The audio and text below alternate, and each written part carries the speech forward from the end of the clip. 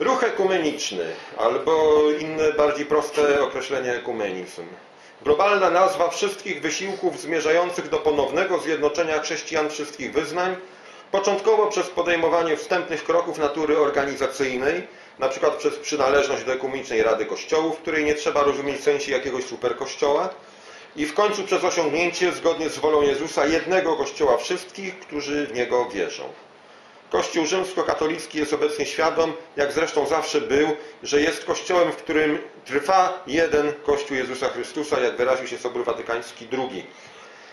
Konstytucja o Kościele, paragraf, punkt ósmy. To cytat z małego słownika teologicznego autorstwa Karola Ranera i Herberta Forgrimlera. Ekumenizm, ruch na rzecz jedności wszystkich chrześcijan i połączenia ich w jednym Kościele. Słownik Kultury Chrześcijańskiej, wydany przez Pax w 1997 roku. Ekumenizm, nurt w chrześcijaństwie, a także zorganizowany ruch dążący w dalszej perspektywie do przywrócenia między wszystkimi chrześcijanami pełnej jedności doktrynalnej, sakramentalnej organizacyjnej. Autor Władysław Łydka, Ekumenizm w Słownik Teologiczny, wydanie drugie, Katowice, 98 rok. Skąd się wzięła nazwa ekumenizm, ekumenia? Chyba wiemy, czy nie wiemy, bo jest to taka wiedza w zasadzie ogólnie dostępna. Greckie słowo oikumene oznacza całą zamieszkałą ziemię. Kościół powszechny, czyli katolicki, czyli ekumeniczny. Używany jak najbardziej w Nowym Testamencie Mateusza 24, 14, Łukasza 2, 1, Łukasza 4, 5, Łukasza 21, 26, Dzieje 11, 28. Występujące tam słowo oikumene zostało wykorzystane we współczesnych czasach przez osoby dążące do zjednoczenia wszystkich wyznań chrześcijańskich no najlepiej w jednym właśnie kościele.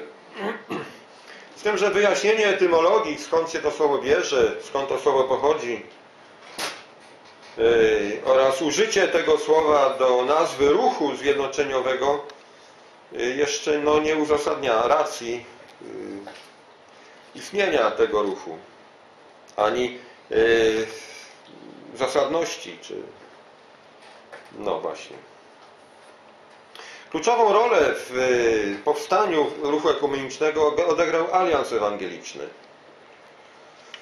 E, na przełomie cytuję księdza profesora Karola Karskiego, wykładowcy e, Chrześcijańskiej Akademii Teologicznej w Warszawie z Kościoła Ewangelicka Augsburskiego. E, na przełomie XVIII i XIX wieku różne nurty i kierunki protestantyzmu ogarnięte zostały ruchem przebudzeniowym. Doszło do nawiązania kontaktów między przywódcami te, tych ruchów. Z powyższej współpracy wyłonił się Alians Ewangelicki.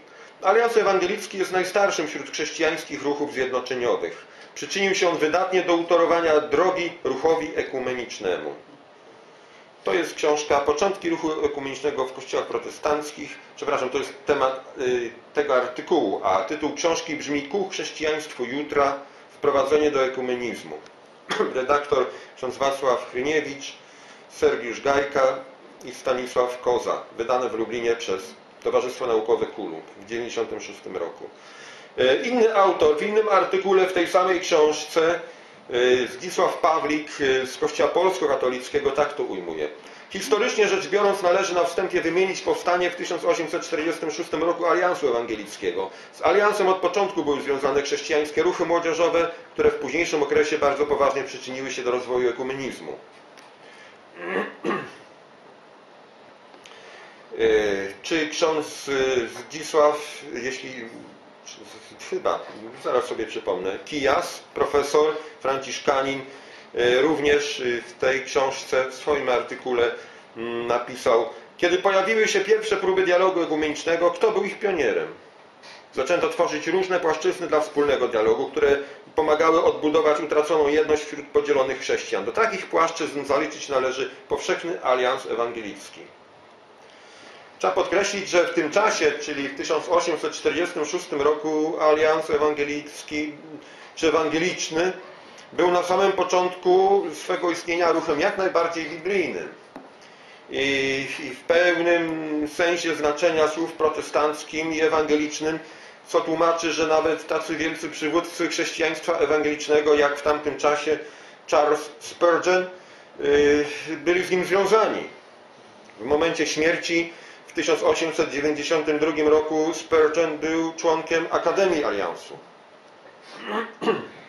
Dopiero w późniejszym okresie rozpoczął się proces przekształcania się ruchu ekumenicznego yy, zanotowany przez tych historyków, których tutaj wymieniłem do formy, do formy dzisiejszej. Polska Rada Ekumeniczna powstała w roku 1946. 23 stycznia 2000 roku Kościoły członkowie Polskiej Rady Ekumenicznej uroczyście wzajemnie uznali ważność chrztu udzielanego przez duchownych jakiegokolwiek z nich, kościołów. To miał być e, dokument, który miał uczcić wejście w nowe tysiąclecie. Kończyły, kończyły się drugi, drugie tysiąclecie, zaczynało trzecie. E, członkowie Rady Komunicznej postanowili uczcić to wspólnie podpisanym dokumentem uznającym wzajem e, chrzest czy chrzty. No i tu niestety w jakimś tam stopniu tą wielką tą ideę baptyści zepsuli, bo tego dokumentu nie podpisali i mówiliśmy o tym y, wtedy, kiedy omawialiśmy kwestię chrztu na wykładach. Tak jest. Pokazywałem, przynosiłem tak, że w tej chwili nie będziemy już do tego wracać. Nie ma ich w Polskiej Radzie Ekumenicznej. Zielonoświątkowców. Z wyjaśnienia, które Y, w kontekście udziału w ekumenii baptyści w jaki sposób uzasadnili fakt, że nie podpisali tego dokumentu? Uzasadnili swoimi zastrzeżeniami co do biblijności tego, tegoż. Potem w identycznych okolicznościach y, jeszcze raz y, baptyści nie podpisali dokumentu, który sugerował wspólne przystępowanie i uznanie przystępowanie do stołu pańskiego. I znowu podstawą były przekonania biblijne. Czy to baptystów, czy w ogóle powiedzmy kościół ludzi ewangelicznie wierzących. To już powinno nam dać trochę do myślenia w kontekście angażowania się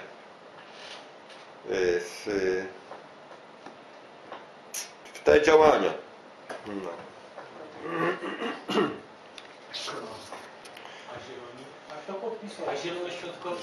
Kościół Zielonoświątkowy nie jest członkiem Polskiej Rady Ekumenicznej.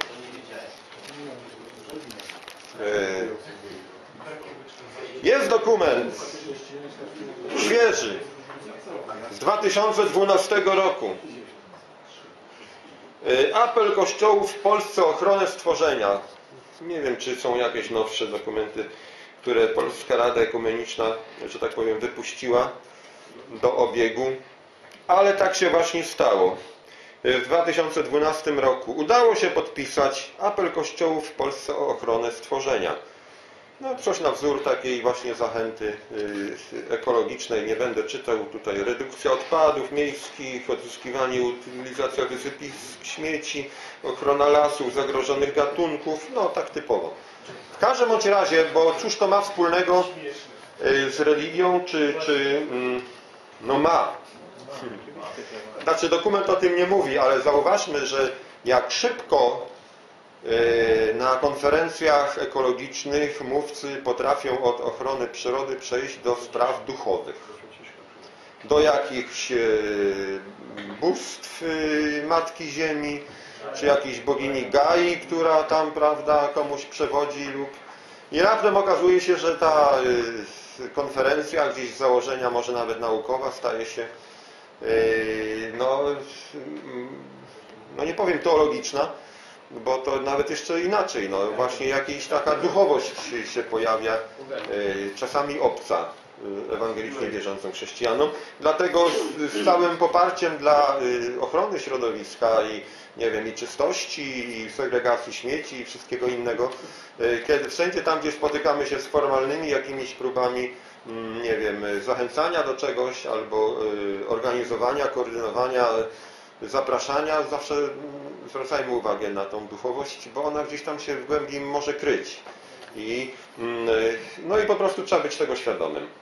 W każdym razie, na zakończenie, tuż przed miejscem na podpisy, w tym apelu kościołów w Polsce o ochronę stworzenia czytamy Bracia i siostry, żyjąc dzisiaj pomyślmy o jutrze. Pomyślmy o tym, że my i całe stworzenie jesteśmy powołani do życia w rzeczywistości opisanej w ostatniej księdze Biblii jako nowa, nowe niebiosa i nowa ziemia. No tak, jesteśmy powołani. Księga Objawienia 21.1. Dlatego codziennie dokonujemy odpowiedzialnych wyborów, oszczędzających energię i zasoby ziemi oraz szanujemy wszystko, co żyje. Nawet niewielkie, ale konsekwentne działania przyniosą ogromny skutek w ochronie całego stworzenia, które, jak czytamy w pierwszej księdze Pisma Świętego, Bóg uczynił bardzo dobre. Pierwsza Mojżeszowa, Księga Rodzaju 1.31. No więc wiem, że tutaj w środowisku akurat baptystycznym były dyskusje. Pojawiły się dyskusje, bo mm, po, pojęcie nowej, nowych niebios i nowej ziemi, której rzeczywiście oczekujemy, w jakimś sensie zostało sprowadzone do odpowiedzialnych y, wyborów oszczędzających energię i zasoby tej ziemi, aby właśnie zmierzając do tej, do takiej właśnie. No w ten sposób niestety to nie, nie stanie się na pewno, jak sądzę, nową ziemią, ani tym bardziej nowymi niebiosami.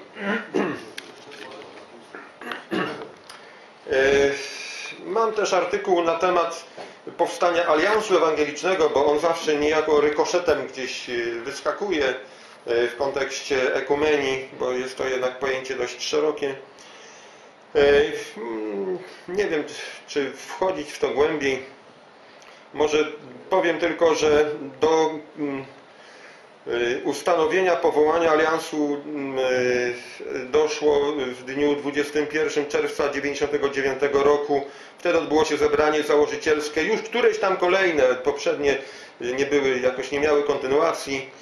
I w tym zebraniu uczestniczyli przedstawiciele 11 kościołów i 9 organizacji międzywyznaniowych, łącznie 35 osób. Podczas zebrania przyjęto przedstawiony przez grupę roboczą projekt statutu, podpisano deklarację o powołaniu Aliansu Ewangelicznego w RP, 8 kościołów i 9 organizacji oraz powołano tymczasową e, Radę Krajową. E, Rada ta w dniu 19 października 1999 roku złożyła w Ministerstwie Spraw Wewnętrznych i Administracji Departament Wyznań wniosek o legalizację i wpis do rejestru kościołów i innych związków wyznaniowych do działu B. No i tutaj jest znak, symbol z, dnia, z dniem 21 stycznia 2000 roku mm, zostało y, alians tam umieszczony i zapisany. Potem był, było pierwsze zgromadzenie ogólne i powołanie Krajowej Rady w pełnym składzie. Nie wiem, czy przeczytać nazwiska osób z tej pierwszej rady, którzy do pierwszej rady weszli, bo może to jeszcze Wam coś powie. Do składu Rady na pierwszą kadencję weszli prezbiter Andrzej Nędzusiak i prezbiter Michał Sikorski Kościół Boży w Chrystusie. Prezbiter Edward Rutkowski i prezbiter Andrzej Jaziernicki Kościół Chrześcijan Wiary Ewangelicznej. Prezbiter Henryk Karzełek i prezbiter Leon Dziadkowiec Kościół Ewangelicznych Chrześcijan. Prezbiter y, Tadeusz Krzok i Ewangeliczna Wspólnota Zielonoświątkowa. E, prezbiter Henryk Roter-Sacewicz, prezbiter Bronisław Chury, Kościół Zborów Chrystusowych, prezbiter Edward Czajko i prezbiter Kazimierz Mosulski, Kościół Zielonoświątkowy, pastor Paweł Jarosz, Ursynowska Społeczność Ewangeliczna, prezbiter Moner Szadet, Kościół Dobrego Pasterza, Jerzy Marcol, Biblijne Stowarzyszenie Misyjne, Henryk Wieja, Chrześcijańska Fundacja Życie i Misja, Władysław Dwulat, Fundacja Słowo Życia, Zdzisław Miara, Ruch Nowego Życia, Zbigniew Rutkowski, Towarzystwo Ewangeliczno-Społeczne w Lublinie, Mirosław Pieszka, Chrześcijańskie Stowarzyszenie Akademickie, Andrzej Michnik, Misja Pokoleń, Henryk D. do Głosu Ewangelii, Adam Otręba, Fundacja Młodzież dla Chrystusa. No, to tyle może w kontekście również Aliansu Ewangelicznego. Proszę? Wystąpili też do ustawy. Mhm. I tak. Y,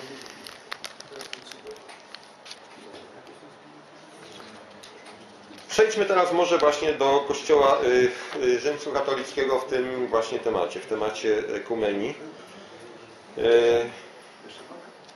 Ponieważ jak się okazuje mm, wielu, wiele osób uczestniczących w ekumenicznych działaniach y, ma y, oczekiwania, które, y, no, których Kościół katolicki z definicji nie zamierza zaspokajać, ponieważ wcześniej już sformułował, że tak powiem, swoją wizję mm, zaangażowania ekumenicznego i tego, czym ekumenia w rozumieniu Kościoła katolickiego jest. W dekrecie o ekumenizmie, który został sformułowany na Soborze Watykańskim II, a więc już dość dawno, dawno, no, kilkadziesiąt lat, no, kośmy trwa 2000, więc może nie tak dawno. Otóż w tym y, dekrecie w rozdział pierwszy nosi tytuł Katolickie zasady ekumenizmu i tam czytamy w trzecim punkcie. W tym jednym i jedynym Kościele Bożym już od samego początku powstały pewne rozłamy, które apostoł surowo karci jako godne potępienia. W następnych zaś wiekach zrodziły się jeszcze większe spory, a niemałe społeczności odłączyły się od pełnej wspólnoty komunio z Kościołem katolickim, często nie bez winy ludzi z jednej i drugiej strony. Tych zaś, którzy obecnie rodzą się w takich społecznościach i przepajają się wiarą w Chrystusa, nie można obwiniać o grzech odłączenia. Powtarzam, tych zaś, którzy obecnie rodzą się w takich społecznościach i przepajają się wiarą w Chrystusa, nie można obwiniać o grzech odłączenia. Ale można. Tych zaś, którzy obecnie się rodzą. Ci, którzy się nawracają, no to się nawracają, no to nie muszą się odłączać. Mogą się nawrócić przecież. A Kościół katolicki otacza ich braterskim szacunkiem i miłością. Ci przecież, co wierzą w Chrystusa i otrzymali ważnie chrzest, pozostają w jakiejś, choć niedoskonałej, wspólnocie komunio ze społecznością Kościoła katolickiego. A więc podstawą tej, tych relacji braterskich jest chrzest. I ci, którzy urodzili się mm, w społecznościach, y, które odłączyły się, tak jak tu czytaliśmy wcześniej, no nie można ich obwiniać o grzech odłączenia.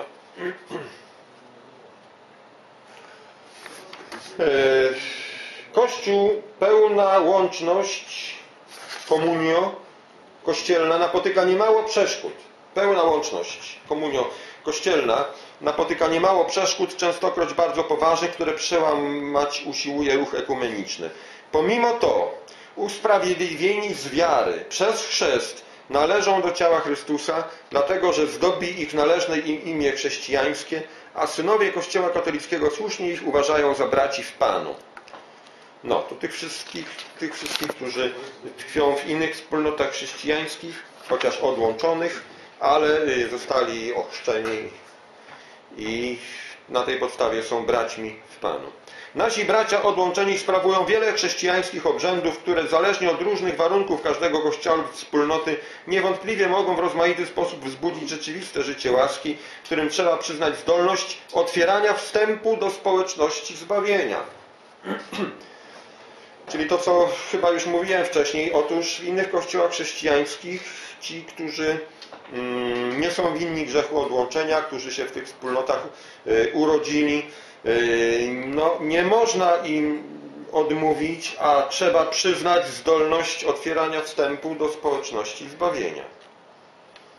Mimo to odłączeni od nas bracia pojedynczo w swoich kościołach czy wspólnotach nie cieszą się tą jednością, jakiej Jezus Chrystus chciał użyczyć hojnie tym wszystkim, których odrodził i jako jedno ciało obdarzył z nowym życiem, a którą oznamia Pismo Święte i czcigodna tradycja Kościoła.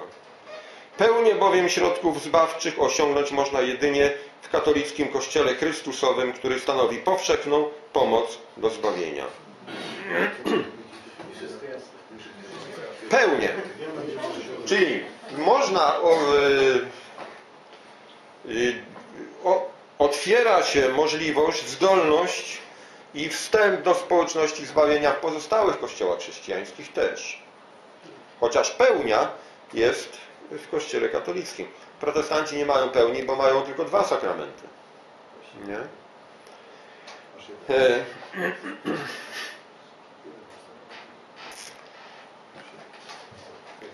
Ponieważ dziś w bardzo wielu stronach e, świata pod tchnieniem łaski Ducha Świętego czyni się tyle wysiłków przez modlitwę, słowo i działalność, by przybliżyć się do tej pełni jedności, jakiej chce Jezus Chrystus, obecny Sobór zachęca wszystkich wiernych Kościoła katolickiego, by rozeznając znaki czasu pilnie uczestniczyli w dziele ekumenicznym. Przez ruch ekumeniczny rozumie się działalność, czyli co to jest i czym się powinien zajmować. Przez ruch ekumeniczny, czyli inaczej mówiąc, czego możemy oczekiwać z tej strony.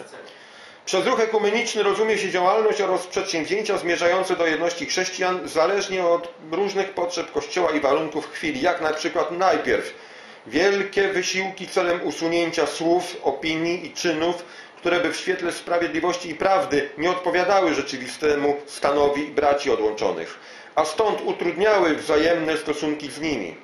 Następnie dialog podjęty między odpowiednio wykształconymi rzeczoznawcami na zebraniach chrześcijan z różnych kościołów czy wspólnot zorganizowanych w duchu religijnym, w czasie którego to dialogu każdy wyjaśnia głębiej naukę swej wspólnoty i podaje przejrzyście jej znamienne rysy. Taki bowiem dialog uzyskują wszyscy, przez taki bowiem dialog uzyskują wszyscy bliższe poznanie prawdy, poznanie doktryny oraz życia jednej i drugiej wspólnoty, y, wspólnoty i bardziej bezstronną ocenę. Wtedy też te wspólnoty osiągają pełniejszą współpracę we wszystkich zadaniach, które dla wspólnego dobra stawia przed nimi sumienie chrześcijańskie i gromadzą się, gdzie tylko się godzi, na jednomyślną modlitwę. Wszyscy wreszcie obliczają, tak jest napisane, obliczają się ze swej wierności wobec woli Chrystusa co do Kościoła i jak należy i jak należy biorą się rzetelnie do dzieła odnowy i reformy. Gdy wierni Kościoła katolickiego czynią to wszystko rozsądnie i wytrwale pod okiem swych pasterzy, wnoszą swój wkład dla dobra, sprawiedliwości i prawdy, zgodnej współpracy, ducha braterstwa i zjednoczenia, żeby tą drogą powoli, po przełamaniu przeszkód utrudniających doskonałą więź, komunio kościelną, wszyscy chrześcijanie skupili się w jednym sprawowaniu Eucharystii, w jedność jednego i jedynego Kościoła, której Chrystus od początku życzył swemu Kościołowi. Wierzymy, że ta jedność trwa nieutracalnie w Kościele katolickim i ufamy, że z każdym dniem wzrasta aż do skończenia wieków.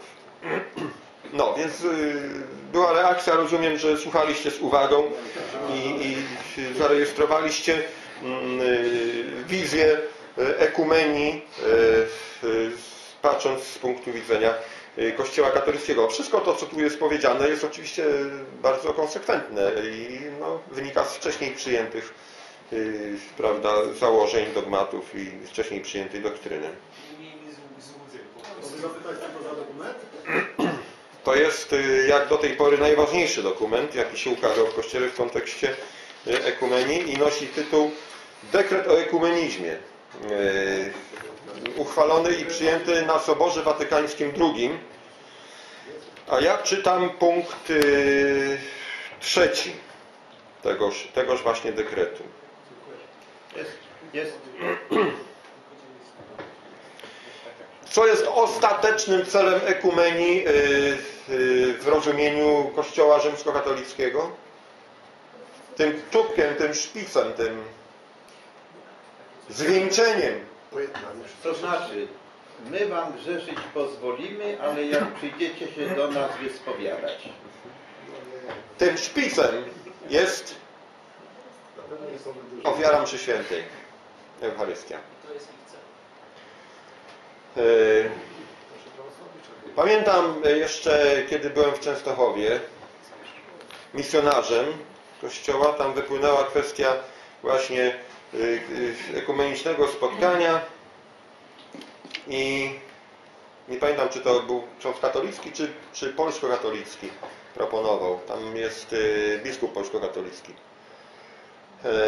w każdym razie mówi, zaproponował, że może wspólna msza. Na co zareagował prawosławny. Mówi, jak to? Przecież to jest cel. Mówi, jak można używać celu jako środka do celu. No. Dobrze to rozumiał i, i bardzo ładnie to ujął. żeby tą drogą powoli, po przełamaniu przeszkód utrudniających doskonałą więź kościelną, wszyscy chrześcijanie skupili się w jednym sprawowaniu Eucharystii, w jedności jednego i jedynego Kościoła, której Chrystus na początku życzył swemu Kościołowi. Wierzymy, że ta jedność trwa nieutracalnie w Kościele katolickim. No więc wcześniej, kiedy była mowa o dialogu doktrynalnym, zauważyliście, jaki jest cel tego dialogu doktrynalnego? Przełamanie przeszkód. Żeby się lepiej poznać. Każde, wszystkie słowa, które tutaj mówiły, oni mówiły o tym, żeby opisać, opowiedzieć i w rezultacie lepiej się poznać.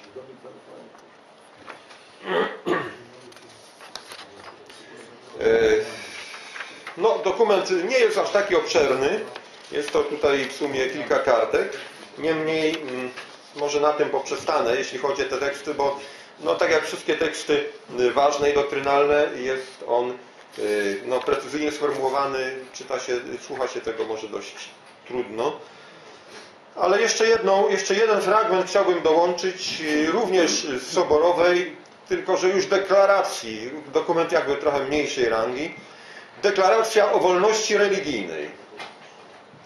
I w tej deklaracji, oprócz różnych wspaniałych tekstów mówiących o wolności religijnej, również czytamy Najpierw więc oświadcza święty Sobór, że Bóg sam ukazał ludzkości drogę, na której Jemu służąc ludzie mogą osiągnąć w Chrystusie zbawienie i szczęśliwość. Wierzymy, że owa jedyna prawdziwa religia przechowuje się w Kościele katolickim i apostolskim, któremu Pan Jezus powierzył zadanie rozszerzania jej na wszystkich ludzi, mówiąc apostołom, idąc wtedy nauczajcie wszystkie narody, chrzcząc ich w imię Ojca, Syna, Ducha Świętego, ucząc ich zachowywać wszystko, cokolwiek Wam przykazałem. I to są zasady yy, obowiązujące. I w praktyce może tak być, że ktoś coś może, nie wiem, myśleć, albo nawet coś mówić, albo nawet coś robić i, i wyglądać to może wszystko inaczej, a jednak y, zasady zawsze pozostaną tymi zasadami i o tym musimy pamiętać. Bo praktyka życiowa może być y, różna, ale jak przyjdzie co do czego, te zasady w sposób yy, radykalny, że tak powiem, upomną się o siebie.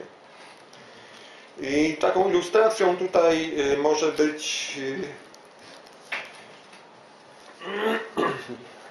Dominus Jezus.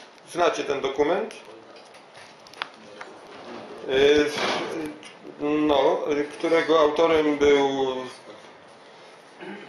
kardynał Józef, Józef Ratzinger, wtedy jeszcze nie papież, dokument w randze deklaracji, w którym Ratzinger upomniał się o te zasady, które Kościół katolicki wyznawał od, od dawna.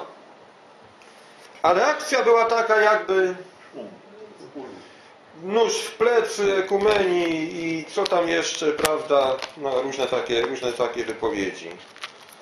Tutaj mam artykuły y, zamieszczone z tamtego czasu. Tu jest, to jest akurat ups, nie chcę ci.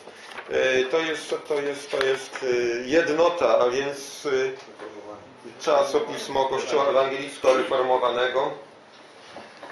I tak y, jeden z autorów z kręgów ewangelicznych, doktor, pracę pisał z ekumenii, więc doskonale powinien rozumieć, czuć ekumeniczne sprawy. Jest tutaj tym bardzo tak no, rozczarowany, zasmucony, może troszkę zirytowany, ponieważ deklaracja, jak to wynika z ducha deklaracji, dzieli na lepsze i gorsze dzieci Boga. I wszyscy chrześcijanie poczuli się chrześcijanami drugiej kategorii. I wielka, wielka czasami aż nadzbyt śmiała ekumeniczna otwartość papieża Jana II dawała powody, by nie wątpić w szczere intencje ekumeniczne Kościoła rzymskokatolickiego. Tymczasem deklaracja potwierdziła, że katolickie rozumienie ekumenizmu zmierza do konfesyjnej globalizacji chrześcijaństwa pod szyldem Watykanu. Tylko. Dalej, czy katolicka wizja ekumenizmu jako procesu powrotu innych kościołów chrześcijańskich na łono tego jedynego prawdziwego kościoła, jak podkreśla deklara- deklaracja, ma szansę powodzenia w przyszłości? Myślę, że tak, ponieważ są takie kościoły tradycyjne, zwane w tym dokumencie kościołami partykularnymi, które wyraźnie dążą do zbliżenia i jedności z kościołem katolickim. Są jednak i takie kościoły chrześcijańskie, których doktrynalna tożsamość zachowująca biblijne, apostolskie wzorce będzie nadal nie do pogodzenia z katolickim rozumieniem kościoła i zbawienia. A kto jest, a kto jest autorem? No ale nie pamiętam. Uważam, że kongregacja nauki wiary wkroczyła w boskie kompetencje wszystkich chrześcijan inaczej wierzących, postawiła pod presją powrotu na łono Kościoła rzymskokatolickiego. Wierzę w przyszłość ekumenii, jeśli stanie się ona bardziej chrystocentryczna. Yy, To jest powtórzenie tutaj cytatu, więc autor się podpisuje. W pełni podzielam tę opinię, natomiast nie wierzę w świetlaną przyszłość ekumenii, jeśli będzie ona katolikocentryczna. I no w sumie takie rozdzieranie szat. I kiedy przeczytałem ten artykuł, to naprawdę byłem zdziwiony tym zaskoczeniem. Ale ja rozumiem, z czego ono się bierze. Bo jeżeli Kościół ka- katolicki, mm, jeżeli poprzestajemy na tym zewnętrznym oglądzie, no to cóż, yy, można powiedzieć, coś się zmienia. I już nie jest taki sam, jak kiedyś był. I nastąpiły różne zmiany. I yy, jest lepiej. Kochani, nic się nie zmieniło. Jeżeli to tylko zewnętrznie. Nie zmieniło się i nie może się zmienić. To, co zostało uchwalone dogmatycznie, nie będzie zmienione. W tym fragmencie z y, dokumentu soborowego na temat ekumenizmu my czytaliśmy o dialogu, y, dialog doktrynalny ewentualnie jedynie co najwyżej w sensie poinformowania się nawzajem.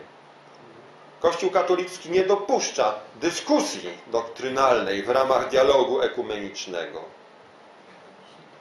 Jeżeli ktoś wierzy, że w konsekwencji ekumenicznego dialogu może dojść do porozumienia czy jakichś ustępstw w kwestiach doktrynalnych z jednej czy z obu stron, ten się myli. Jeżeli to tylko z drugiej strony.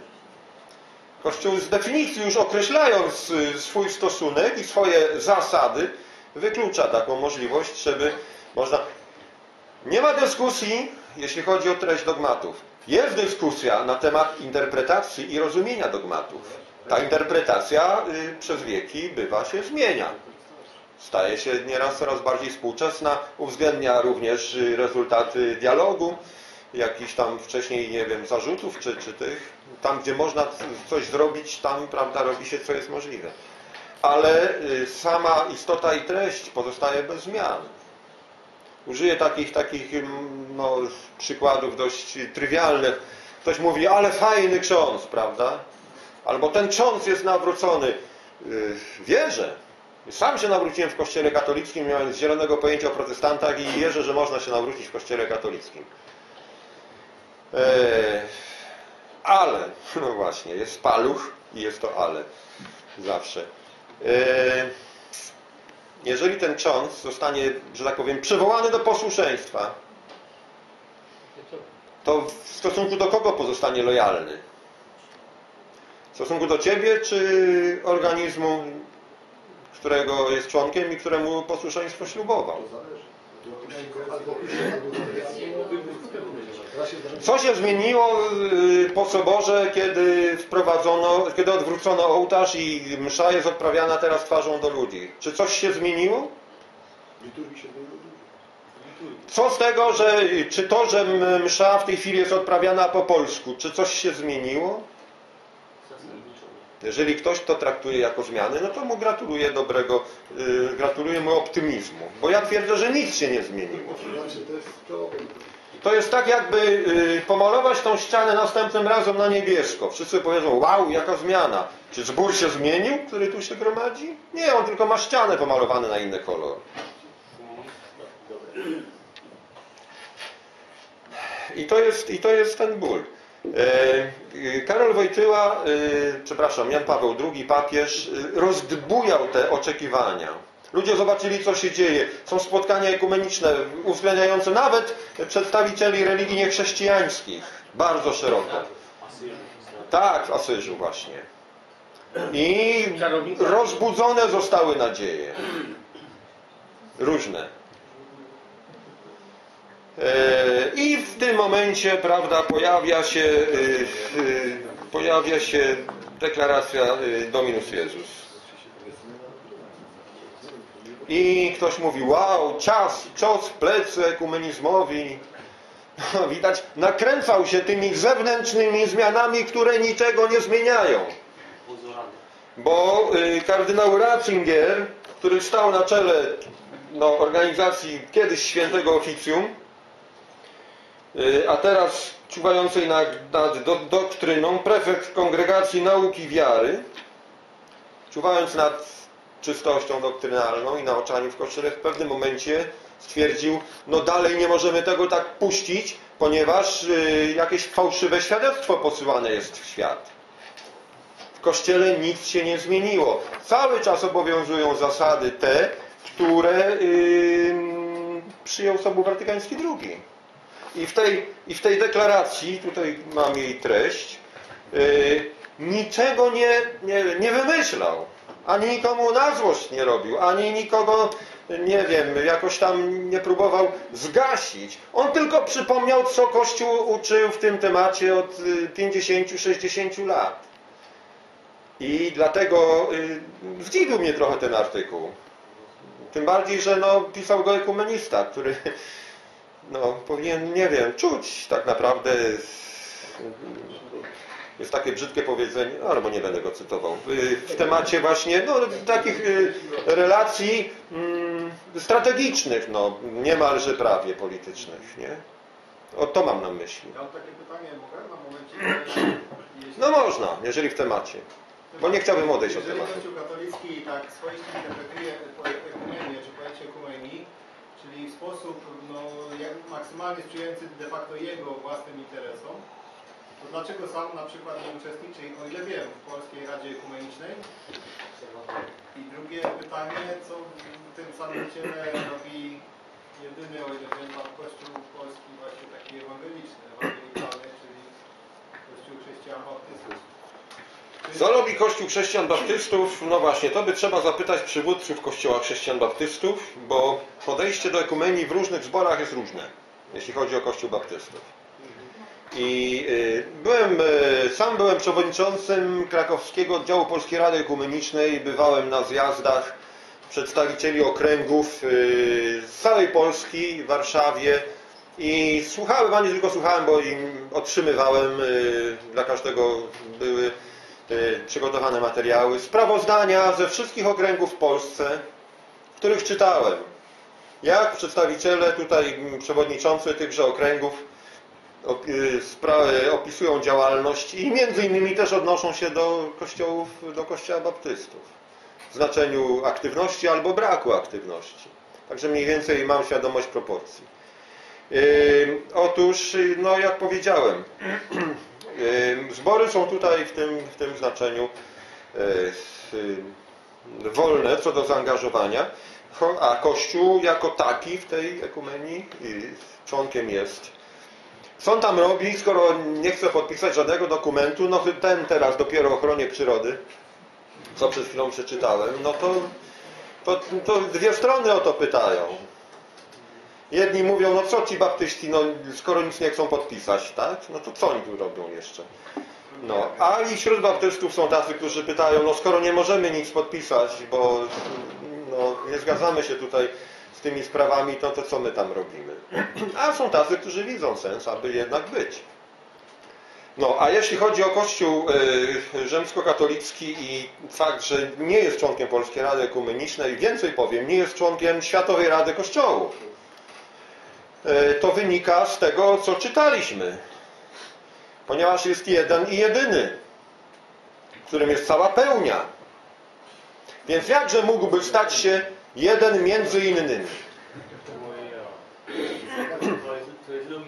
To, mm, no, to, to nie tylko logika, bo, bo tak to zostało sformułowane. I w każdej sytuacji, nawet tam, gdzie Jan Paweł II zaprosił różnych innych duchownych wyznań w Asyżu, prawda, kiedy jest pamiątkowe zdjęcie, no to przynajmniej tyle, że papież jest oczywiście w centrum. Bo generalnie zasada jest taka, że y, raczej, raczej w takie działania, w których y, międzywyznaniowe, w których Kościół katolicki w centrum nie jest, no to raczej nie będzie się angażował.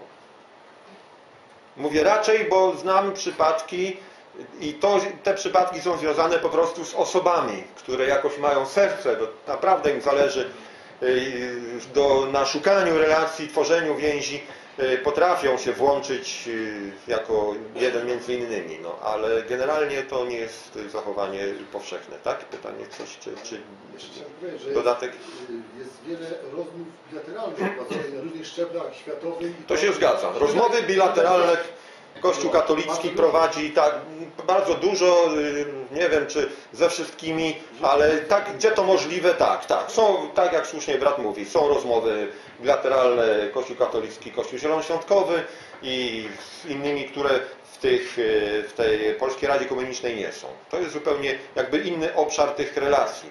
Poza tym Kościół rzymskokatolicki funkcjonuje jako obserwator, Więc na spotkaniach y, Polskiej Rady Ekumenicznej oddziałów czy centralnych zawsze przedstawiciel Kościoła Rzymskokatolickiego jest. Niejednokrotnie inicjatywa jakiejś y, aktywności ekumenicznej wychodzi od, od Kościoła Rzymskokatolickiego i można to nieraz odróżniać, patrząc, czy dane, dane wydarzenie ekumeniczne organizuje Polska Rada Ekumeniczna, czy to organizuje Kościół, Kościół Rzymskokatolicki bo jakby nie było, jest to ekumenia w takim szeroko rozumianym znaczeniu tego słowa, bez względu na to, kto by to, mm, kto by to organizował. No, więc y, odszedłem trochę od tego wątku, więc może tylko już jednym zdaniem go zakończę. Y, nie ma powodów do, do jakiegoś no, tutaj rozczarowania. Dominus Jezus i kardynał Ratzinger, teolog y, wysokiej klasy, najwyższej półki, po prostu przypomniał teologię, nauczanie Kościoła w tym temacie. Nikomu nie zamierzając, nie wiem, krzywdzić, ani, ani po prostu jest y, odpowiedzialny za pewien obszar tutaj służby w Kościele i uznał być może, że już czas, aby o tym przypomnieć. Żeby jednak mylne jakieś wrażenie nie szło w świat i, i teraz y, rozdzieranie szat, ojej, co się wydarzyło, cios tutaj i tak dalej, no to to jest, to znaczy, że kto tak pisze, ten w ogóle nie rozumie, y, no, w jakim świecie żyje, jeśli chodzi o te relacje właśnie też ekumeniczne. Tu jest drugi artykuł, y, też doktora, mm, y, członka parafii ewangelicko-reformowanej, który doskonale już nie trzeba go nawet tytuł ty, czytać, bo sama, sam tytuł mówi, że on doskonale wie w czym rzecz. Zatytułował go w ten sposób deklaracja Dominus Jezus. Komu to było potrzebne?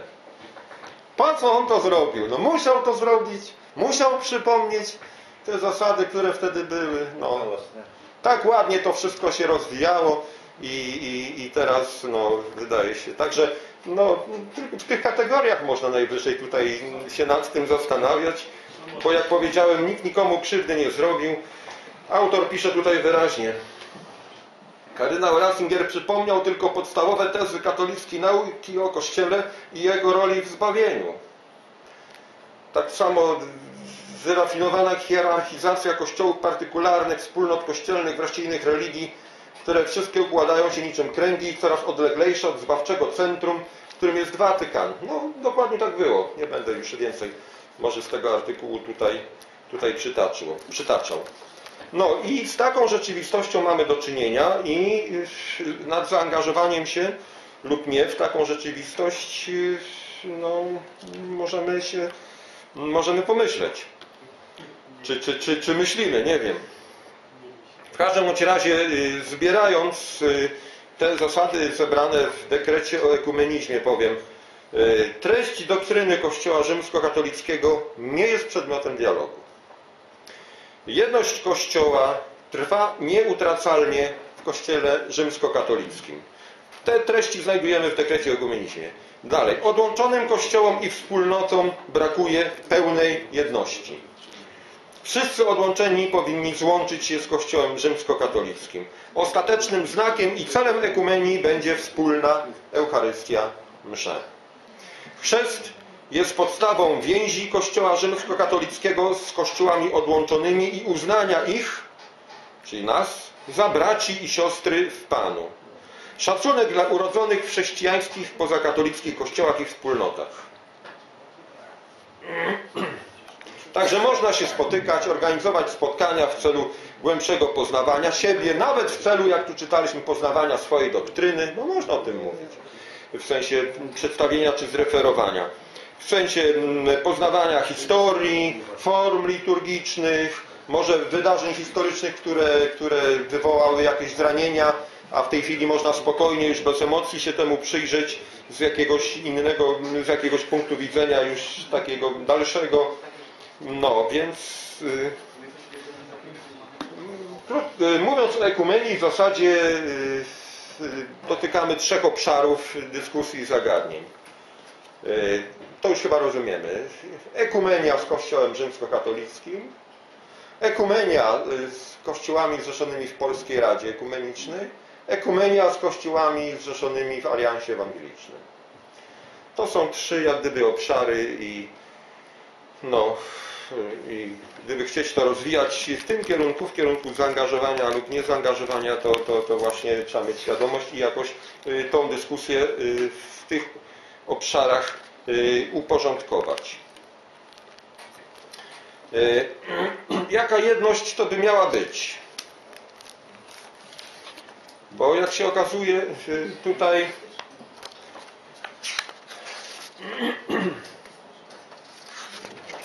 znajdujemy znajdujemy no może nie, może zacznę od biblijnych prób, prób biblijnego uzasadnienia tych wysiłków. Okazuje się, że zarówno z jednej, jak i z drugiej strony przedstawiciele czy to Kościoła rzymskokatolickiego, czy innych kościołów zrzeszonych w Polskiej Radzie Ekumenicznej jak również przedstawiciele kościołów ewangelicznych zaangażowanych y, w jakieś działania ekumeniczne i dążenie do jedności.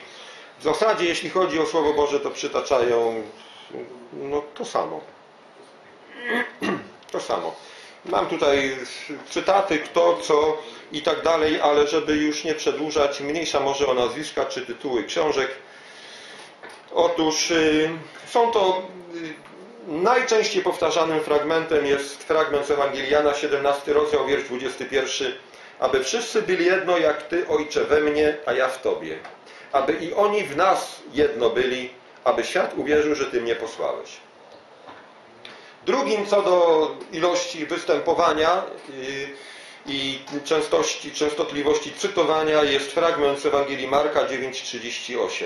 Odpowiedział mu Jan, nauczycielu, Widzieliśmy kogoś, kto nie chodzi z nami. Jak wypędzał w Twoim imieniu demony i zabranialiśmy mu, bo nie chodzi z nami. Ale Jezus rzekł, nie zabraniajcie mu, ponieważ nie ma takiego, kto by dokonywał cudów w imieniu moim i mógł zaraz potem źle o mnie mówić. Bo kto nie jest przeciwko wam, ten jest z wami. I w jednym przypadku, jeszcze właśnie w przypadku y, baptysty profesora Tadeusza Zielińskiego zetknąłem się Y, z fragmentem Słowa Bożego mm, z listu do Efezjan, czwarty rozdział, druga część, 21 wiersza. Y, prawda jest w Jezusie. W sensie nie w denominacji, nie w Kościele, ale w Jezusie. I do tej prawdy powinniśmy dążyć. Cały tekst, cały fragment brzmi, Efezjan 4,20 zacznę, ale wy nie tak nauczyliście się Chrystusa jeśliście tylko słyszeli o Nim i w Nim pouczeni zostali, gdyż prawda jest w Jezusie. No, więc y, takie są tutaj mm, próby biblijnego uzasadnienia, y, zaangażowania y, w to dążenie do, do jedności. Te kwestie mm, biblijne wypłyną za chwilę. Y, kiedy, kiedy właśnie podejmę wątek, jak, jaka ta jedność miałaby być, jak sobie ci, którzy do niej dążą, jak ją sobie wyobrażają. Czy ma być to jedność oparta na jakimś minimum dogmatów? Czy może jedność na wzór y, ONZ? To jest, to y, ja cytuję tutaj, y, za chwilę powiem skąd ten cytat. Czy jedność w wielości, to znaczy jedność w prawach zasadniczych, a wolność pozostałych? Czy wspólnota na wzór rodziny wielu kościołów bratnich na zasadzie równości? Czy jedność wyrażana soborem powszechnym zgromadzającym przedstawicieli wszystkich kościołów? Czy jedność organiczna, obejmująca również struktury kościelne? Jezus powiedział, że ma to być jedność na wzór jedności w Trójcy Przenajświętszej, aby byli jedno jak Ty, Ojcze, we mnie, ja w Tobie, aby i oni stanowili jedno w nas. Chodzi więc o jedność najdoskonalszą, na wzór trynitarnej, w jedności i wielości, w zróżnicowaniu i harmonii. Teologowie streszczają tę zasadę słowami Trójca Przenajświętsza jest przyczyną sprawczą i wzorczą jedności chrześcijan. Ojciec zesłał Syna, by nas odrodził i zgromadził w jedno. Syn modlił się, aby wszyscy byli jedno. Ustanowił Eucharystię jako sakrament jedności i pozostawił przykazanie miłości tworzące wspólnotę. Duch Święty zgromadza w jedność wiary, nadziei i miłości, a zgromadzając wszystkich w Chrystusie stanowi zasadę jedności Kościoła. Trójca Przenajświętsza jest także wzorem jedności, której szukamy. Jaka to będzie jedność? Czy tylko jedność w miłości? Czy jedność w głoszeniu Ewangelii? To są pytania, no już wiemy z jakiego źródła, skoro wypłynęła msza święta i Eucharystia. To pytania, które zadaje no, wielki, nie wiem, chyba największy ekumenista w Kościele katolickim, żyjący jeszcze y, ksiądz profesor Stanisław Celestyn Napiórkowski. Wierzę w jeden Kościół. Wydani, y, wydawnictwo Diecezji Tarnowskie Biblos 2003 rok. Według encykliki Jana Pawła II Ut Unum Sint, poświęconej właśnie temu zagadnieniu, dążenia do jedności, yy, czytamy krótko, tę jedność tworzą więzy wyznania wiary, sakramentów i komunii hierarchicznej lub komunia kościołów partykularnych z kościołem Rzymu oraz ich biskupów z biskupem Rzymu jest w Bożym zamyśle podstawowym warunkiem pełnej i widzialnej komunii. Czyli mówi już o tym ostatecznym, y, że tak powiem, celu działań ekumenicznych. Ekumeniści zwykle wymieniają kilka rodzin jedności. Różne rodzaje jedności, jak słyszeliśmy, tutaj niektórzy nawet widzę, serio się zastanawiali, jakby to miało wyglądać. Wszyscy odwołując się do słów Jezusa z Ewangelii Jana z 17 rozdziału 21, tak? Aby byli jedno. Rzecz w tym, że Jezus w tym fragmencie Słowa Bożego nie mówi o różnych rodzajach jedności. On mówi yy, mówi o, o jedności, o jednym rodzaju jedności, o tak. Te wszystkie rodzaje jedności, które tutaj przytaczałem i mógłbym jeszcze i może więcej przytaczać, to wszystko wymyślają ekumeniści. Jakby to miało wyglądać, tak jakby to od nas, czy od nich zależało teraz, jak tą jedność wreszcie uda nam się skonstruować, osiągnąć, zbudować. Różne rodzaje jedności wymyślone przez ekumenistów. Kluczowe pytanie, jakie sobie powinniśmy zastanowić, to jest, co Jezus mówi o jedności? Jaka ma być ta jedność, o której mówi Jezus w Ewangelii 17:21?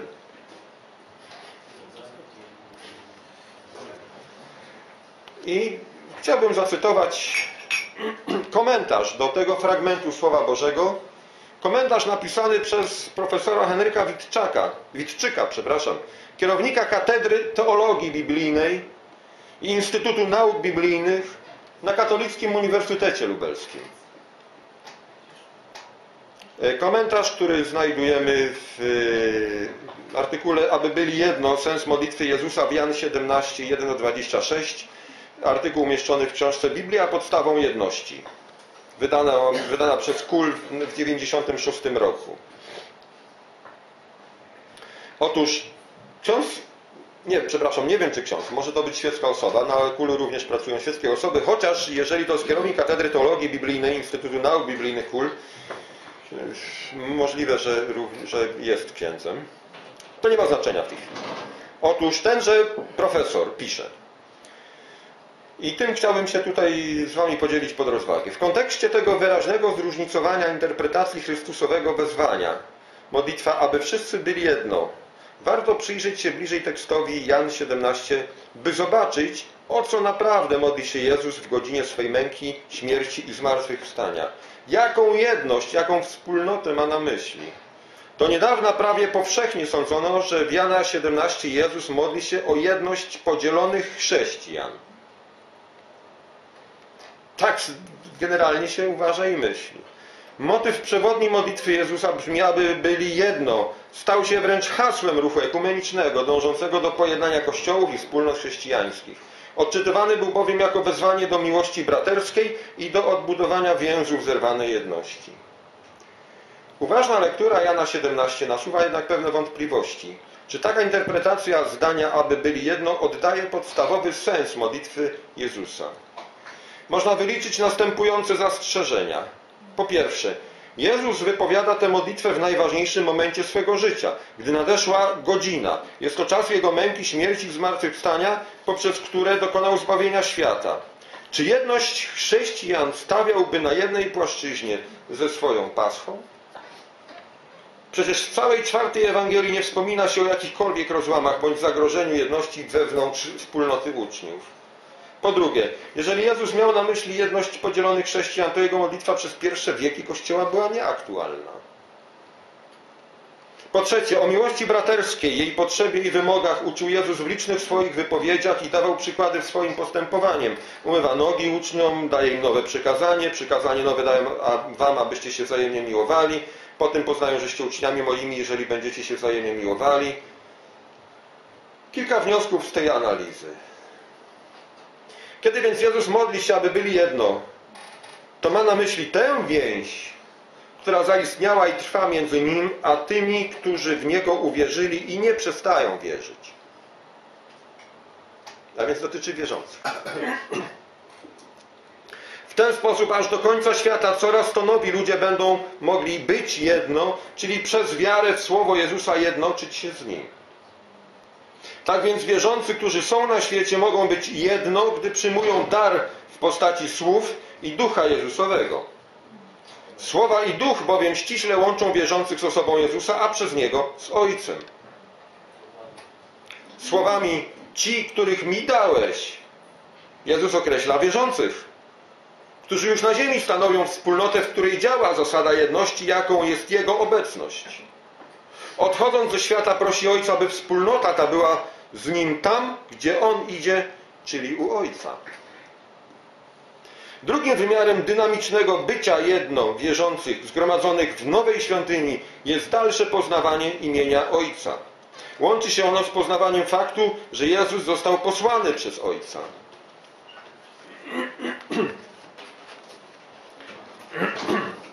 Co odkrywamy tu w tej, w tej y, egzegezie, w tej interpretacji tekstu?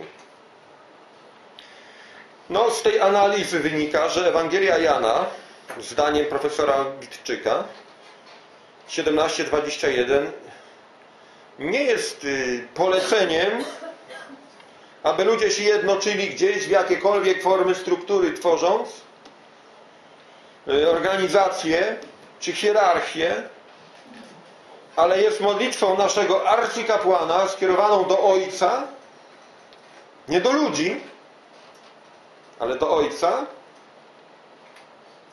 i proszącą Ojca, aby sprawił, żeby ci, których Ojciec dał Synowi, trwali w jedności i trwali w coraz bliższej wspólnocie z Synem i przez Niego z Ojcem. Tak w tym świecie doczesnym, jak potem będą trwać w wieczności.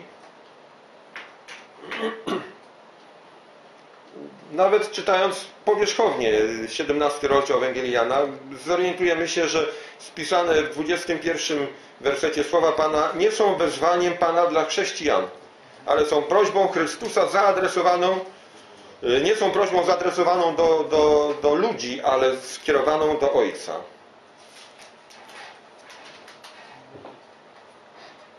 Jeżeli ktoś powie, no ojciec tej modlitwy jeszcze nie wysłuchał, bo modlitwa i tęsknota jeszcze ciągle trwa.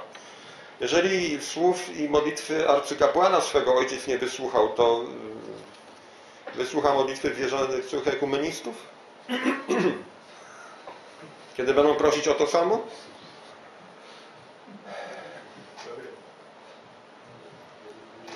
Rzeczą, yy, no właśnie, w rozważanym fragmencie wszyscy również ma swoje znaczenie. Co to znaczy wszyscy? Kim są ci wszyscy, aby wszyscy byli jedno? Odpowiedź jest w poprzednim wersecie. Nie tylko za nimi proszę, ale i za tymi, którzy przez ich słowo uwierzą we mnie. Czyli dotyczy to wierzących już tu i teraz i dotyczy tych wierzących, którzy uwierzą. Aby wszyscy byli jedno. Pan Jezus modlił się nie tylko za obecnymi w owej jednostr- tej jadalni, tam gdzie przebywali, prawda, 11 uczniami, czy jeszcze większym gronem, ale też za wszystkimi wierzącymi, za wszystkimi aż do końca świata, którzy w Niego uwierzą. Tak więc jedność, o którą modli się Jezus, może objąć według Jana 17:20 tylko i wyłącznie wierzący. Jedność, o którą się modlił Jezus, polega na zjednoczeniu poszczególnych wierzących z Chrystusem. Tu nie ma zachęty, do, jak powiedziałem już, do tworzenia jakichś, nie wiem, struktur, organizacji, czego jeszcze.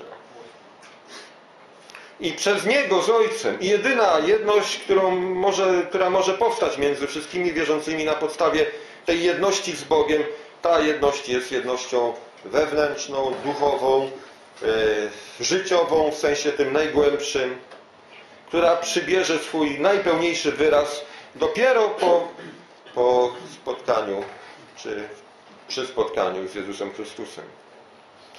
Jezus o tym wspomina w tej modlitwie, w 24 wierszu. Ojcze, chcę, aby ci, których mi dałeś, byli ze mną, gdzie ja jestem, i aby oglądali chwałę moją, którą mi dałeś, gdyż umiłowałeś mnie przed założeniem świata.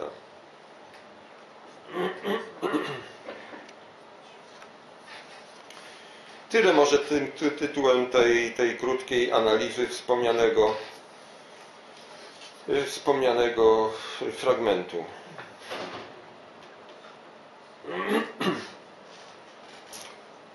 Mam tu jeszcze wypowiedź Charlesa Spurgeona, fragment jego kazania.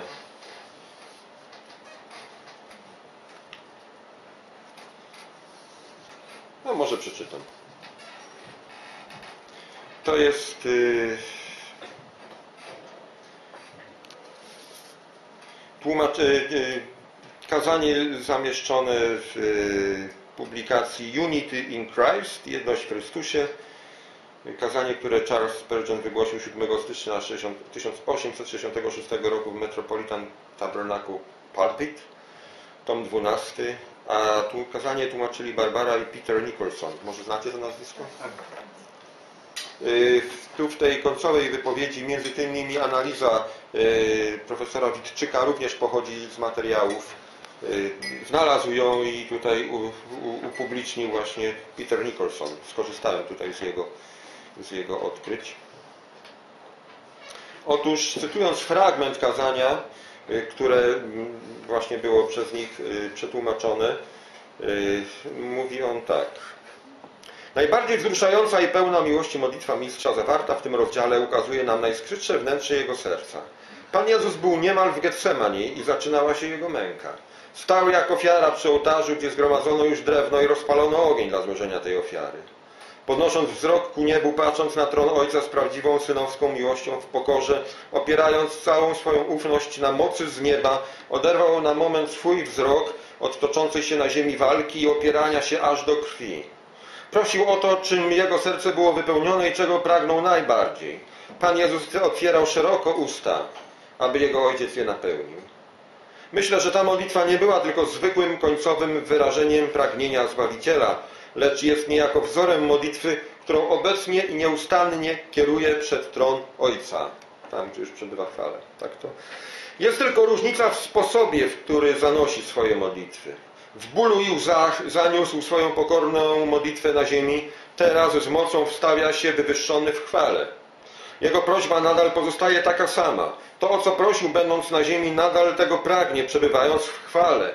Umiłowani, bardzo ważny jest fakt, że w tych ostatnich chwilach przed śmiercią Zbawiciel nie tylko pragnął, aby jego lud był zbawiony, lecz modlił się o jedność zbawionych, aby będąc zbawionymi mogli pozostawać w jedności.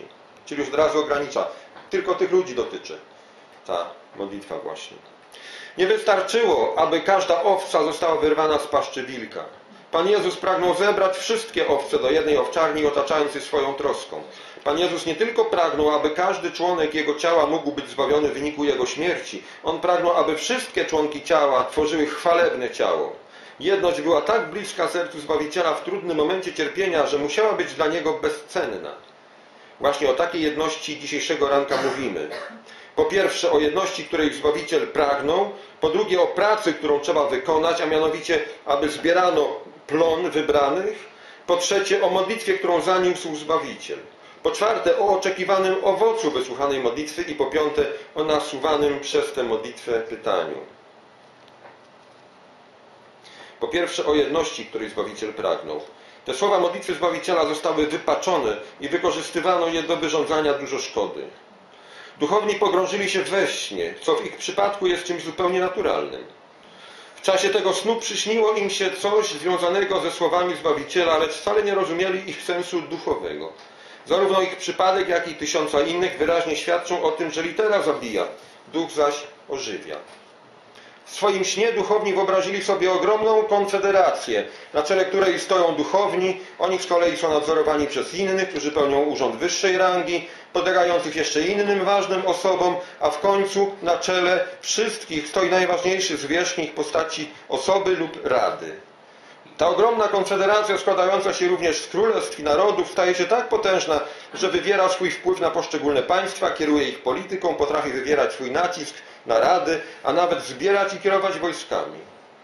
Z pewnością słowa Zbawiciela Królestwo moje nie jest z tego świata zakłóciły im ten spokojny sen, ale pomimo pojedynczych koszmarów wymyślali sobie nadal. Co gorsze, te swoje wyobrażenia zmieniali, zmienili w rzeczywistość i był taki czas, kiedy tak zwani wyznawcy Chrystusa byli wszyscy jedno. Patrząc na północ, południe, wschód i zachód z centrum Watykanu, jedna złączona organizacja obejmowała całą Europę. I jaki był tego skutek? Czy świat uwierzył, że Bóg posłał Chrystusa? Skutek był odwrotny. Świat doszedł do przekonania, że Bóg nie miał nic wspólnego z tą niszczycielską, zabobonną, pogrążoną y, w ciemnocie, no to jest XIX wiek, organizację, która nazywała siebie chrześcijaństwem. Mówi Charles Spurgeon. Myślący ludzie tego okresu odrzucili chrześcijaństwo i prawie w ogóle nie można było znaleźć prawdziwie wierzących ludzi na północy, południu, wschodzie czy zachodzie. Wszyscy wyznawcy byli jedno, ale świat nie uwierzył. Prawda jest taka, że to nie była wcale ta jedność, o której myślał Chrystus. Pan Jezus nigdy nie zamierzał ustanowić ogromnego, zjednoczonego ciała, które miałyby dominować i sprawować władzę nad duszami ludzkimi. Pan Jezus nigdy nie chciał, aby był jakiś kościół, w którego szeregach mieliby znaleźć się królowie, książęta, mężowie stanu, którzy są ludźmi miłującymi tylko ten doczesny świat, bezbożnymi, zmysłowymi. Chrystus wcale nie planował utworzyć jakiejś jednolitej machiny miażdżącej sumienia ludzi. A więc ta utworzona przez człowieka machina kościelna, gdy opracowana została do perfekcji, zaczęła działać pełną parą, zamiast pracować nad tym, aby świat uwierzył, że Ojciec posłał Chrystusa, doprowadziła do tego, że świat przestał wierzyć w cokolwiek, odrzucił pobożność i stał się rozpustny i całkowicie zepsuty. I należało położyć kres temu systemowi, ponieważ stał się powszechną plagą i potrzebne były mu zmiany, aby przywrócić zasady moralne. Jednak wielu nadal ma taki sen. I tutaj tłumaczenie zostało przerwane, bo to, był, to jest ten fragment został przetłumaczony. Tak więc myślę, że ta egzegeza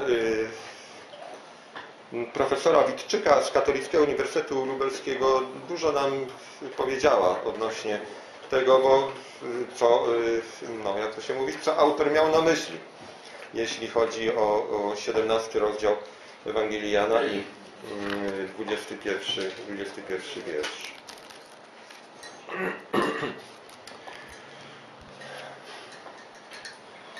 Dobrze, no może tyle w tym temacie.